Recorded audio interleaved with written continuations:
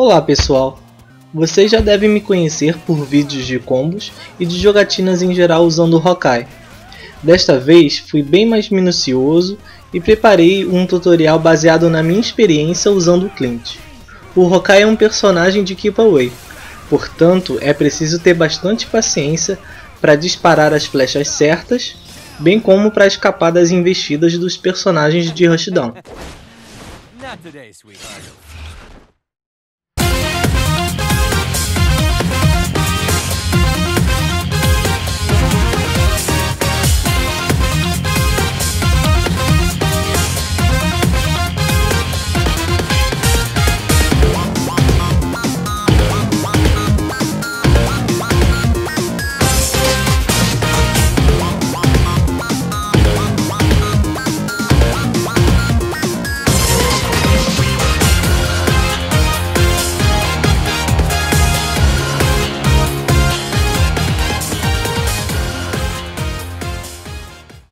greatest marksman, at your service.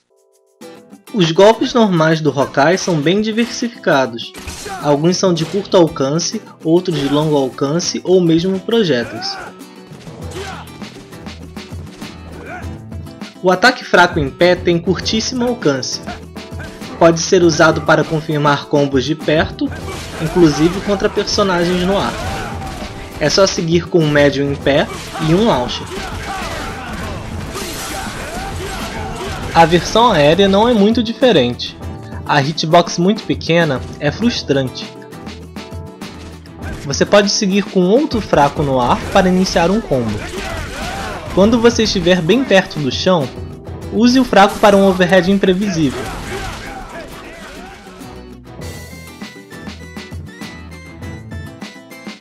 Contra personagens altos, serve como um instante overhead.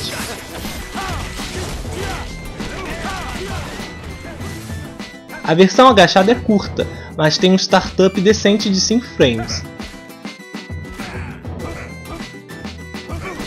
O médio em pé é um dos melhores golpes para confirmar combos, e também funciona como ferramenta de defesa.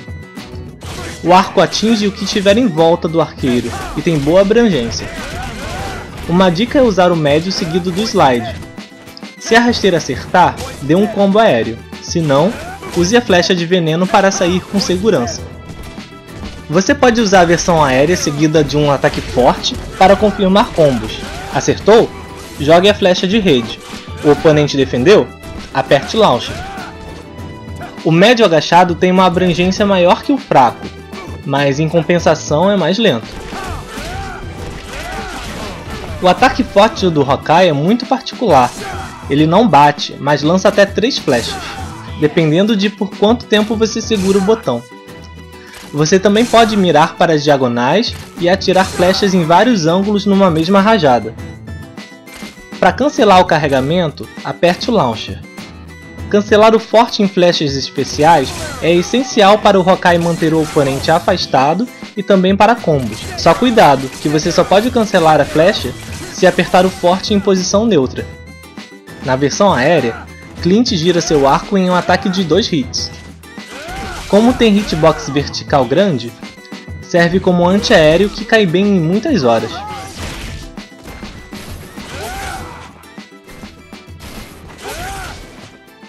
Com diagonal para baixo e forte, o arqueiro dá uma rasteira de longo alcance, ótima para abrir defesas. Para garantir a investida, use um assist para te ajudar a combar depois da flecha de veneno.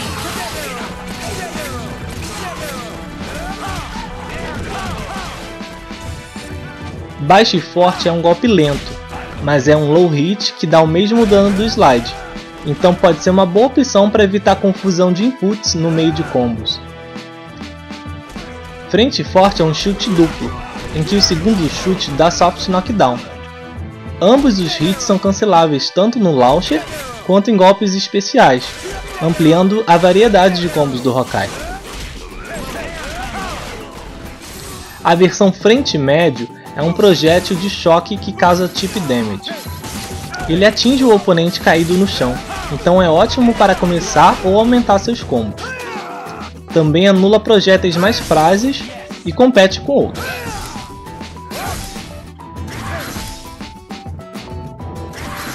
O launcher do Hokai deixa-o muito vulnerável, embora cubra bem sua cabeça. Você pode usar com cautela como antiaéreo. Outro uso bacana é como um mix-up de entrada. Aperte o botão chamando um assist que te deixe seguro. Se o oponente defender o launcher, você não será punido e ainda pode fazer mais ataques. Se ele não defender, é só você pular para um combo aéreo. A versão aérea é muito boa para se defender, porque cobre os pés do Hokai. Se acertar, você tem bastante tempo para confirmar um combo com um ataque fraco ou médio. Olha esse combo! Olha esse combo!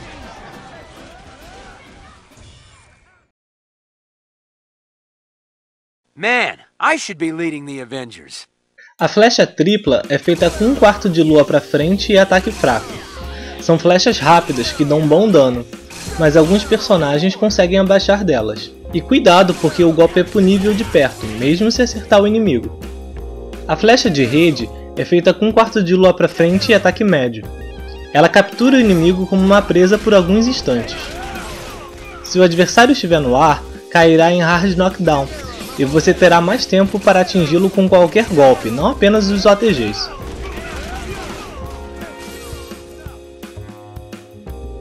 Com um quarto de lua para frente forte, o Hokai solta uma flecha de raio que dá um dano incrível.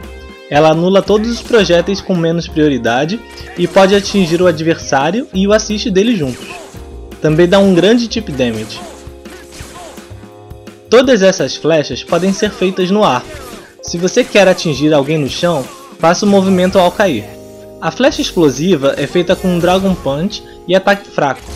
Se toca o inimigo ao ser lançada, explode imediatamente. Se não, explode depois de alguns segundos.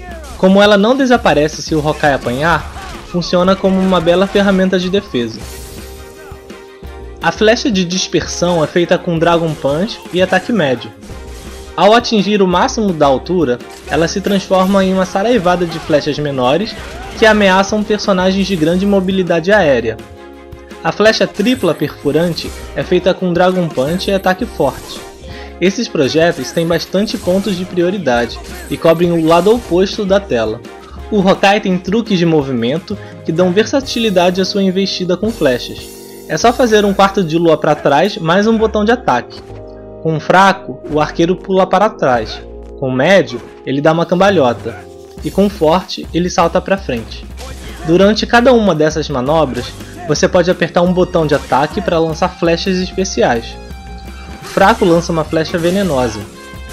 O médio lança uma flecha congelante. E o forte, uma flecha perfurante. Use o pulo para frente com a flecha congelante para cross-ups. Interessante também que ela causa ground bounce contra oponentes aéreos, então pode ser usada em alguns resets.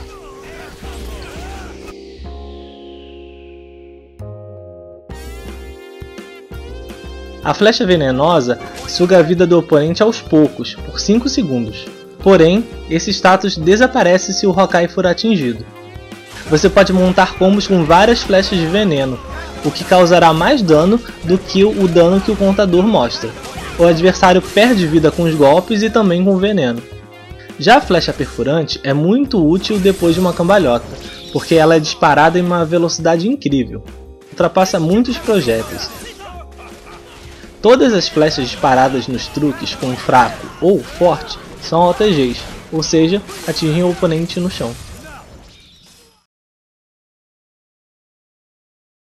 This takes real skill, you know. O Gimlet é um dos hypercombos do Hokai, feito com um quarto de lua para frente e dois botões de ataque. O arqueiro dispara uma flecha de alta velocidade em linha reta, que é mirada no oponente onde quer que ele esteja. É o hypercombo indicado para fins de combos, porque casa bem com a maioria dos hypers de outros personagens.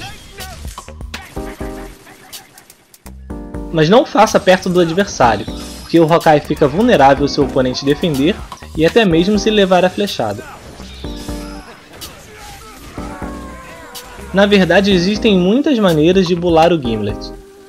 Uma delas é usar esses hyper combos de transformação.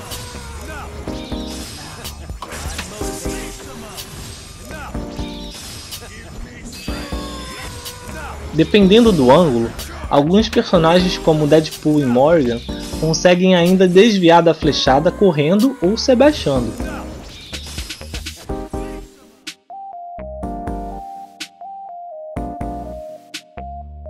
Hard tags também escapam do Gimlet. Um aspecto bacana do Hyper é quando usado após um crossover counter. Você pode cancelar sua entrada num Gimlet aéreo e punir muitos personagens, que estarão ainda sem defesa. Para tirar o maior proveito dessa tática, você pode estourar o X-Factor. O outro Hyper Combo level 1 do Hokai é o Kiss of Fire, feito com Dragon Punch para frente mais dois ataques. O arqueiro lança 7 flechas explosivas que cobrem todo o chão e acertam o OTG. No entanto, o oponente pode escapar se der um super pulo no outro canto da tela. É um hyper combo excelente para proteger o Hakai. Você pode dar um hard tag enquanto o oponente defende as flechas. Mesmo se o Hakai for punido, as flechas continuam a cair. Mas cuidado que o arqueiro ainda pode ser agarrado. O Hyper Combo Level 3 do Hakai é feito com um quarto de lua para trás e dois botões de ataque.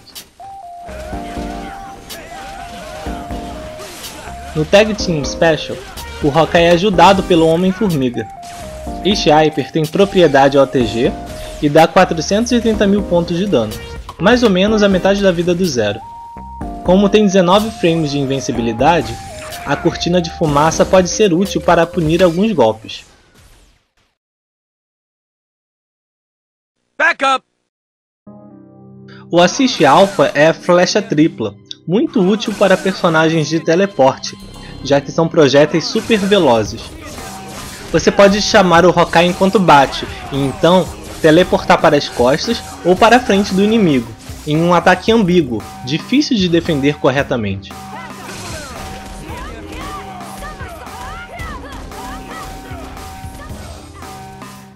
O Assist Beta é a flecha de veneno da manobra com ataque fraco. Ela é ótima para aumentar o dano geral do seu combo. Como a flecha não é tão rápida, você pode chamar esse assist e ir para as costas do inimigo durante o lançamento. Assim ele ficará se perguntando se defende pela frente ou pelas costas. Além disso, ela tem propriedade OTG.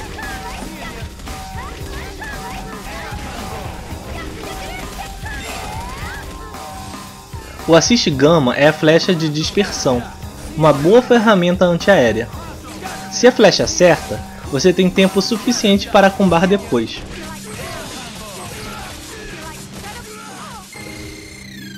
O assist pode ser usado também para diversificar seus combos.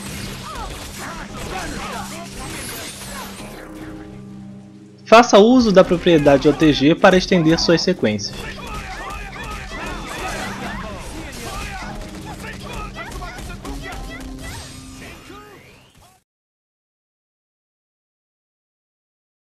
This is how it's done!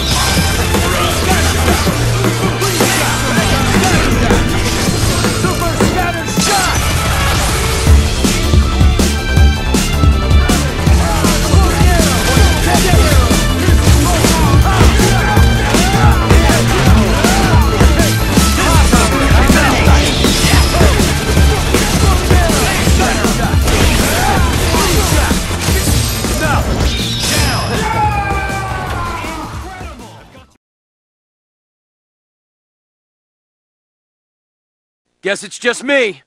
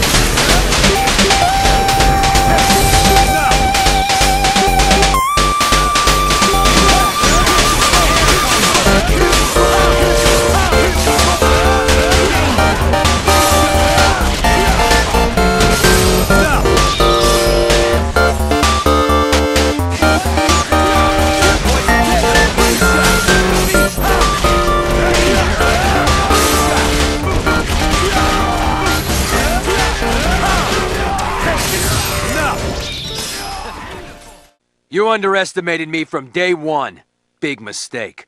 Como o objetivo do Hawkeye é se manter afastado, você vai ser caçado como uma presa por personagens de Rushdown.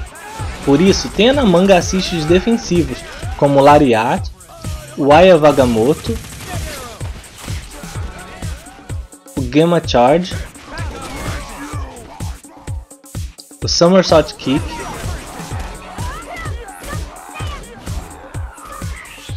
o Jump Session e outros.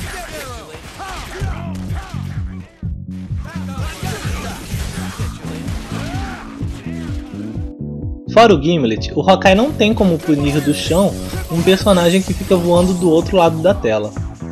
Então você pode querer um assist que cubra esse espaço negro. Pode ser o Vajra, o Mystic Ray, os Hidden Missiles ou outro. Você já deve ter percebido que o dano geral do Hawkeye é baixo. Então, se quiser balancear isso, você terá que escolher um dos seguintes caminhos. O primeiro é o dos resets, com assists que te ajudem a criar mix-ups e iniciar novos combos, e assim resetar o contador de dano. O outro caminho é com DHCs fortes. Você escolhe personagens como Spencer ou Dormammu na segunda posição para infligir grande dano depois de um Gimlet.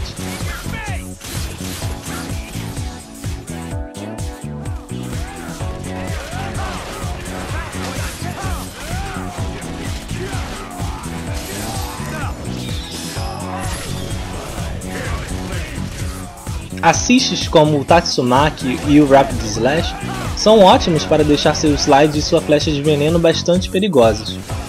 Se o inimigo não defende, você simplesmente continua o combo com a flecha de rede ou com outro slide. Se defende, você fica em segurança e ainda pode continuar atacando. O andar do Hawkeye é bem lento, o que não ajuda na hora de escapar do ataque inimigo. Além disso, o pulo é alto e demorado, então fugir com vários saltos também não é uma boa. Então como fazer para se manter longe de personagens muito rápidos? A resposta é dominando a técnica de Wave Dash ou Blink Dash, tanto para frente quanto para trás.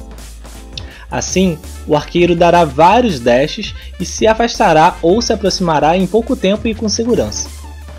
Evite ao máximo usar os pulos normais do Hawkeye e até mesmo no super pulo. O arqueiro vira alvo fácil, tanto de agarrões quanto de cross-unders, que são os ataques por baixo e pelo lado inverso.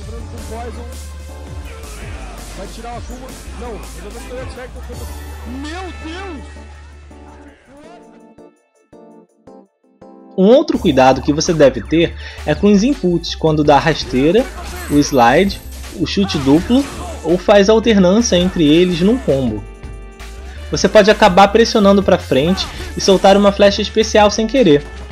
Cuidado também com a tática de Wave Dash seguido de agarrão pelo mesmo motivo. Um equívoco comum a jogadores de Hawkeye é o de estourar o X-Factor e continuar com o jogo de Keep Away. Dificilmente você vai virar o jogo apenas com Tip Damage. Use slides, normais agachados, agarrões e cross-ups com flechas de gelo para abrir seu oponente. Já que o arqueiro é sua última esperança, vai para cima sem medo. Aqui no Brasil existem Dark Hokkais muito temidos.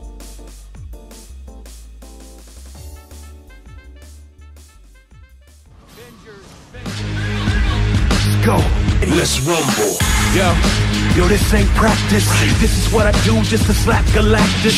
Ninja é isso aí, pessoal. Espero que vocês tenham gostado do tutorial do Hawkeye. Aproveitem para assistir os combo vídeos que já fiz dele e também minhas partidas casuais e de torneios. Se vocês tiverem qualquer dúvida que não tenha sido respondida no tutorial, fiquem à vontade para perguntar aqui no campo de mensagens.